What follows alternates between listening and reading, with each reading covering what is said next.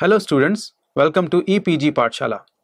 I am Mohan Chand Joshi, Assistant Professor from Jamia Millia Islamia. Today we are going to talk on module Pulse Field Gel Electrophoresis PFGE and its application under the paper Genetic Engineering and Recombinant DNA Technology Part 1. After completing this module, you should be able to understand what exactly is pulse field gel electrophoresis is, what is the methodology, and what, are the, what is the underlying principle for this gel electrophoresis method. What are the variants that are available for pulse field gel electrophoresis? And lastly, what are the application of this technique in research? So standard DNA gel electrophoresis. You all might be familiar with the standard agarose gel that has been run in lab routinely and this standard agarose gel electrophoresis resolves a mixture of DNA molecules based upon their length and this is resolved by applying a constant and linear electric field in which the larger DNA molecules are migrating slowly while, while smaller are quicker and always found in the later at the bottom of the agarose gel. What resolves, uh, so resolution of these DNA fragments depends upon one factor that is how, what is the percentage of agarose in that gel. So the concentration of agarose in the gel determines its pore size and through which the DNA resolves. For example, if you pour a 1% agarose gel, that means the pore size for that agarose gel could be 100 nanometer to 500 nanometer.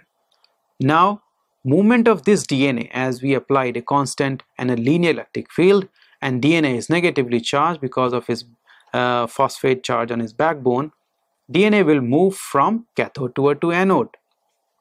And because there is a pore size which allows the passing of DNA molecules, it will resolve into a standard band formation and you will see that into the next slide.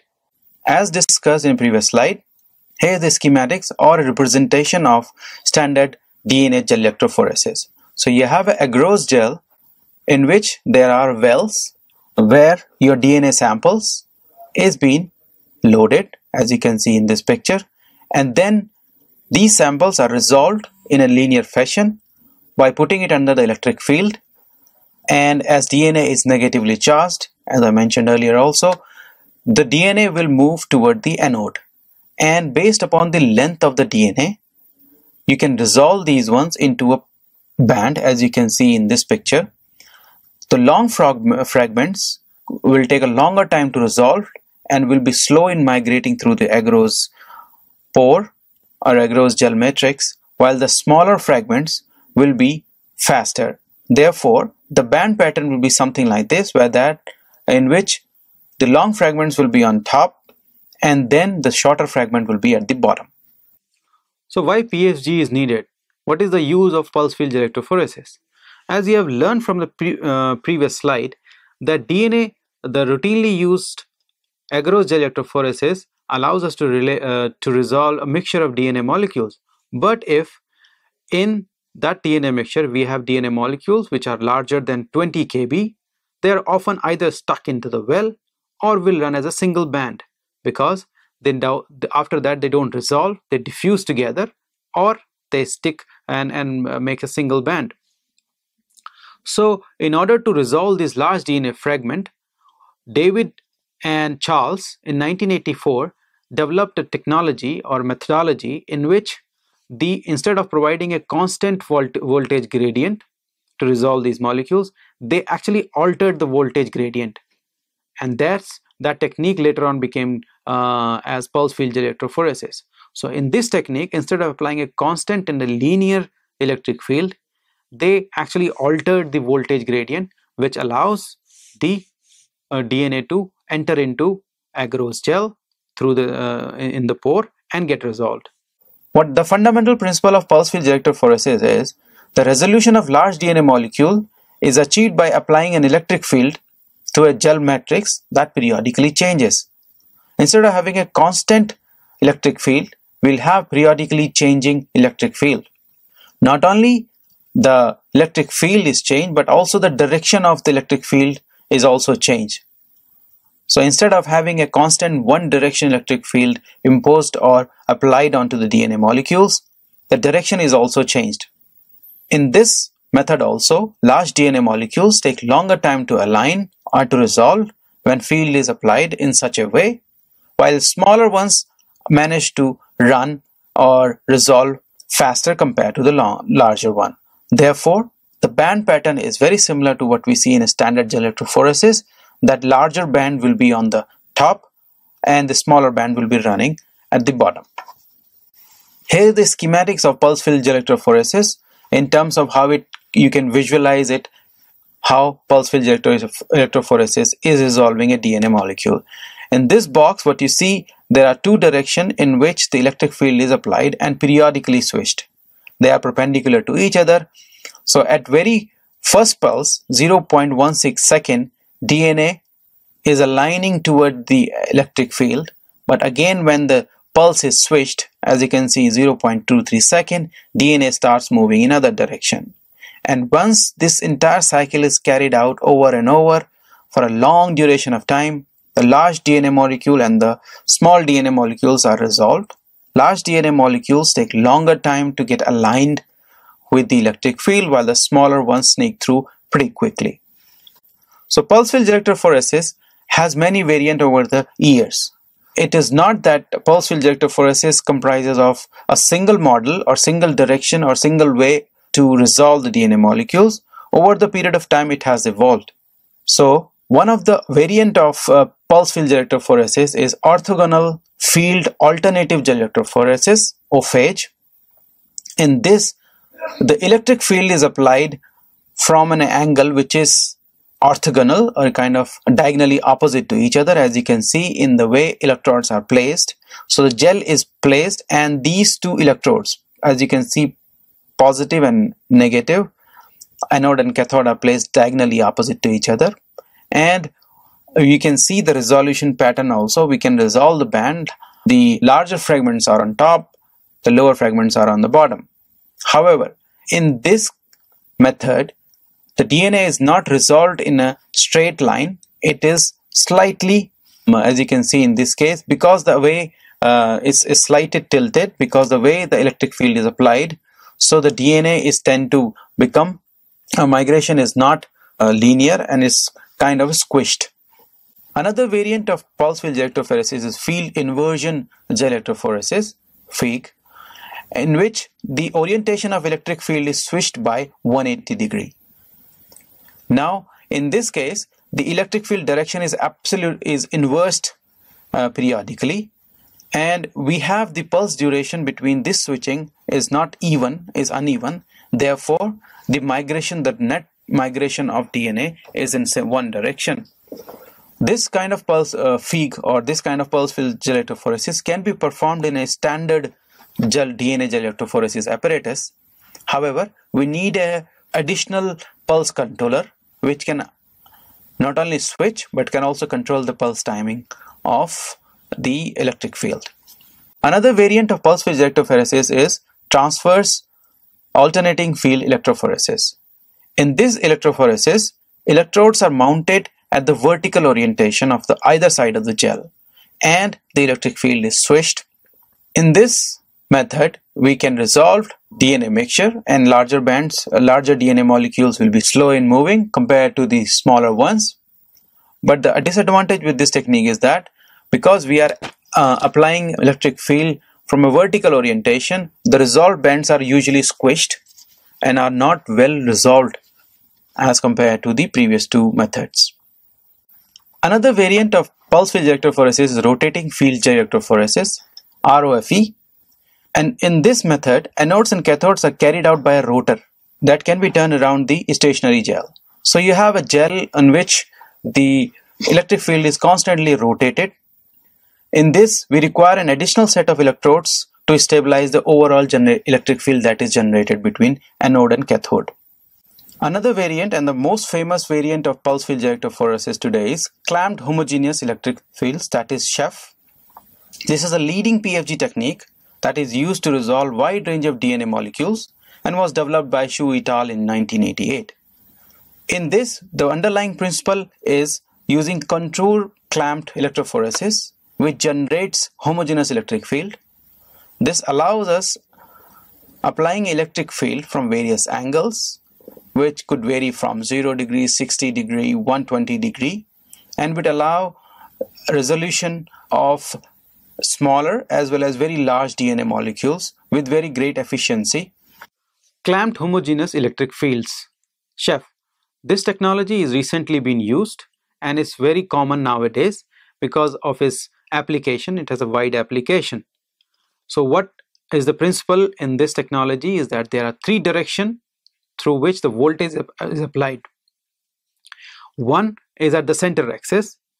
Next is a 60 degree clockwise to the center axis and third is 60 degree anti-clockwise to the central direction. However, the degree of the angle of this uh, voltage gradient varies from application to application. Chef allows you to change the degree of uh, that, that angle and it could be 20, 30, 60, 90 or 120 depending upon your application. Because Chef also allows the manipulation in pulse time, field strength, amount of field strength that you want to apply as well as angle as I just mentioned and these all factors in combination will help you resolve the larger DNA molecules from the smaller one and that's what makes this chip much more um, applicable in various um, has a diverse range of applications. Also, pulse time in chef is not cons kept constant. It's actually uh, uh, it's kept equal in all directions. Suppose we have a voltage gradient coming from three directions so it's always kept same so that the net migration is toward uh, is, is results in a net forward migration. Also resolution by this technology by pfg and in this chef usually takes 10 to 24 hours uh, compared to a normal electrophoresis which completes in one or two hours but this longer duration results in better separation and also uh, results due to a constant switching in the uh, voltage gradient. In this slide, we explain the direction of the electric field in the Chef PFG apparatus that are being used. And as you can see, there are a contour map electrode placed all around the gel and we have a situation where we can change the angle as I mentioned earlier also as well as the direction of the electric field. In the Chef PFG based system, as you can see, there are electrodes which are placed and can be used to apply electric field at an angle of plus 60 and minus 60. So that means counterclockwise in 60 degree and clockwise 60 degree angle we can induce electric field and also we have a linear straight which is a zero degree electric field that is applied. Now in this chef method, we can also have a wide range. It is not limited to 60 degree angle. This is shown only for representation here. But the degree and the angle of electric field can be changed. It could be 60, 30, 90, 120 degree also, depending upon the application and the sample that has been used to resolve. So overview of pulse field uh, gel electrophoresis methodology. So how pulse field gel electrophoresis is used to generate a pulse field pattern for a DNA molecule. Here is example for a bacterial cell and how the bacterial DNA is visualized on a pulse field. So very first step is that we have a plate where we have a single colony. We take the single colony and we grow them overnight to make a saturated culture. Now the saturated culture is diluted in such a way that there are just enough amount of the cell in the buffer suspension. This buffer suspension is mixed with a molten agarose which is very specific agarose for pulse pulseful electrophoresis. Now these plugs are prepared which are made. Now these plugs will have bacteria embedded into these agarose. Within these agarose plugs we will carry out specific reaction so that the DNA, the bacterial cell wall is removed and the DNA is exposed which is further digested by a restriction enzyme which we desired for and then these plugs are put into the wells of the pulse field electrophoresis gel. it is very important in this particular methodology that agarose plugs are made with enough amount of the cell as well as they these plugs are handled properly. And the, these plugs are made so that the DNA is not sheared by doing this we are kind of we protect our bacterial genomic DNA from having any external DNA smearing or DNA damage. And as you can see shown in this picture we'll have each cell will have its own DNA which will remain embedded in this agarose but the outer cell wall and inner membrane of this bacteria will be dissolved by putting these plugs into proteinase K and different other detergents. And after that, these plugs will be put into agarose, uh, into pulse field electrophoresis gel, gel and by using a specific pulse time depending upon the size and the resolution that we are looking at, we can resolve these into a band and this entire process takes up to uh, from 16 to 24 hours. The major application of pulse field electrophoresis, which has been there for quite some time, though now availability of high throughput DNA sequencing as well as other approaches has undermined the application of pulse field electrophoresis in lot many regards. However, pulse field electrophoresis is still a very robust technique for several applications. Few are mentioned in this slides in this slide as well as in upcoming slides. One of the major usage of pulse field electrophoresis has been in uh, subtyping of clinical isolates where different isolate of same bacterial species that has been isolated from different places can be subtyped and look and uh, we can compare what percentage similarities were there in between two clinical isolate. For example, in this graph, which is taken from one of the studies which are published in 2005, as you can see, there are three different isolates or clinical groups that have been uh, mm, resolved in a pulse field electrophoresis. On the uh, left hand side, you can see the, the parameter on the top showing the percentage homology. So if two uh, clinic isolates are absolutely same, that means having a 100% similarity, you will see the dendrogram on the left side explaining that, which matches with the DNA band pattern what we see um, via pulse field electrophoresis.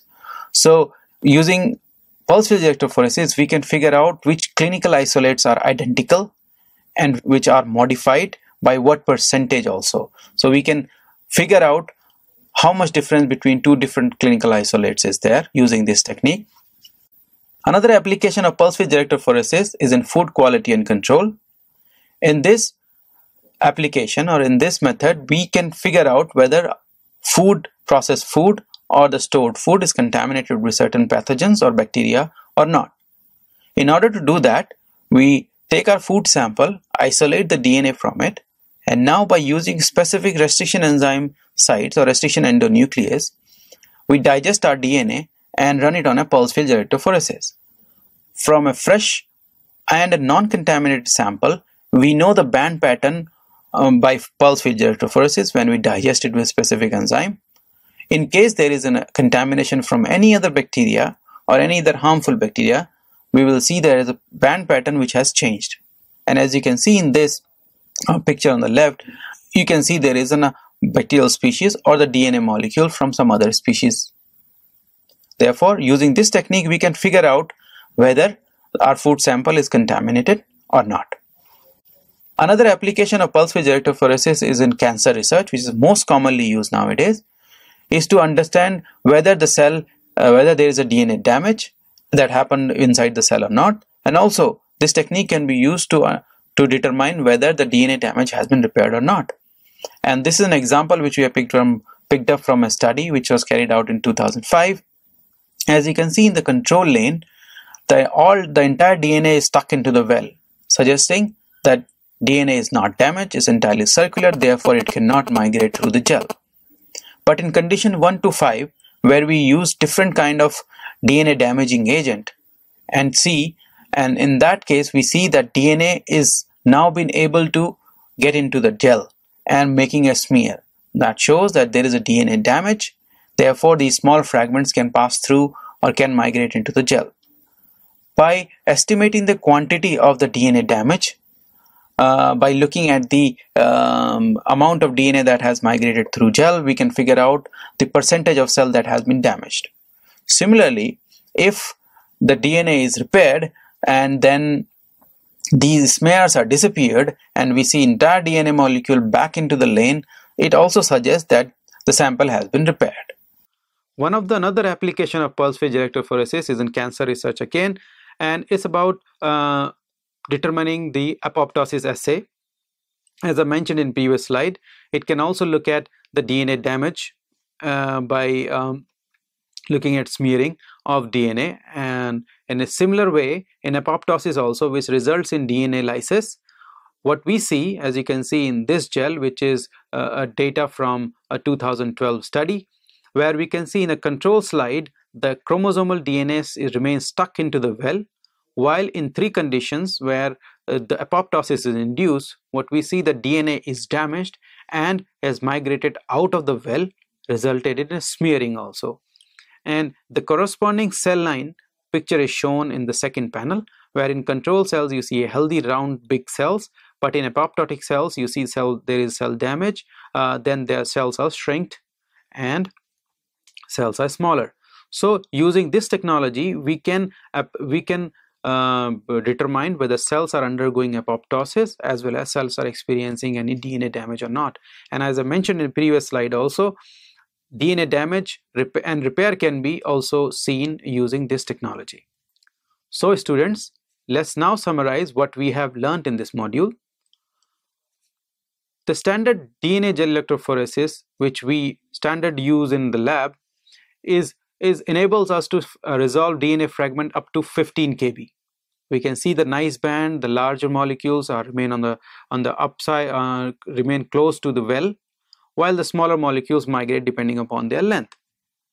But if the size of the DNA is more than 15 kb, we see either they are diffused together in a single band or they remain stuck into the, into the well.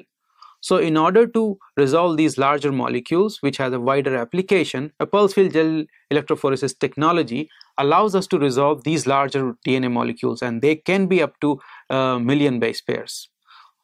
And what is the underlying principle of pulse field electrophoresis? Is instead of having a constant and linear voltage gradient, we can fluctuate uh, the voltage gradient not only in terms of its timing but also in terms of its angle that we are providing in.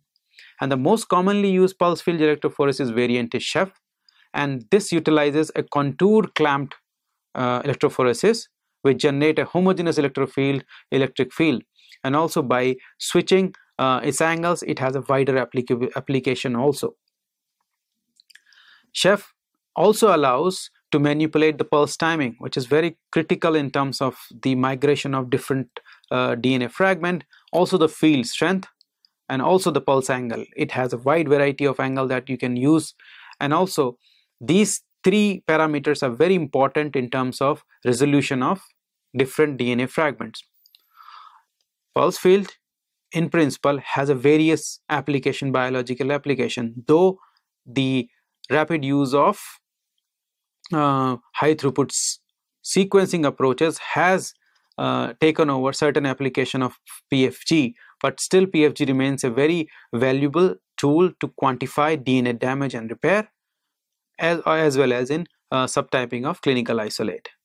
So I hope that by the end of this uh, module you have learned uh, in detail about uh, pulse field electrophoresis and its application. Thank you.